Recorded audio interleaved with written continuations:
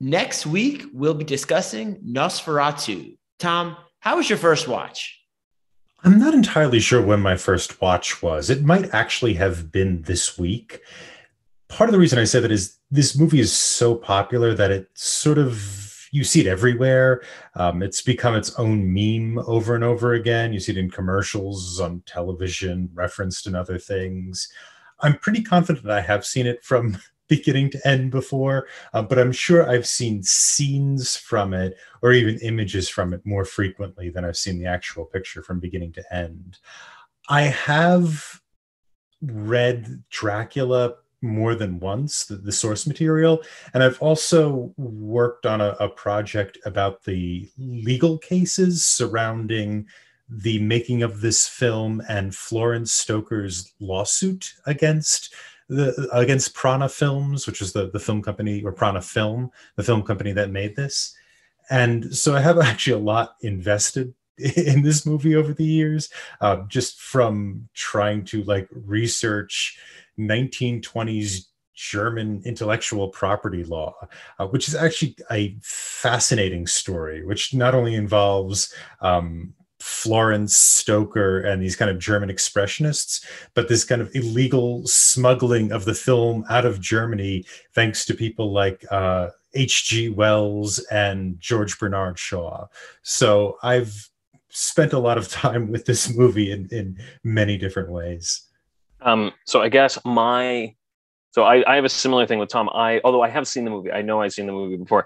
Um, I first saw the movie in 2011, and I remember I was watching. It actually was in like the winter of 2011 because I was living in London at the time, um, and I got this movie on like uh, like I, I downloaded it on like Apple from the Apple Store. So that was my first time actually ever watching this movie. And up to that point, I'd seen silent films before. I'd had to watch them for um, some classes, but I'd never really liked them. Um, and I, I, watched this movie, and that's sort of part of the reason why I, kind of started watching more silent films was because of this movie. But I've probably so that was the first time I've actually seen this movie, and I've seen it a number of times um, since then. But I, I definitely I've read the book. Um, first time I read the book was in 2007, so I've read the book, and then I've seen sort of references to this material uh, and to the to the book um, for many many years. I remember the first time I actually ever saw a reference to it was in uh, that old there's an old computer game Uninvited,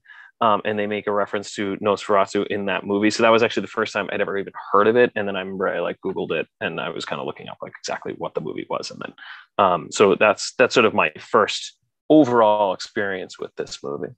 I remember seeing clips of it, like in uh, montages with other monsters like Dracula and Frankenstein.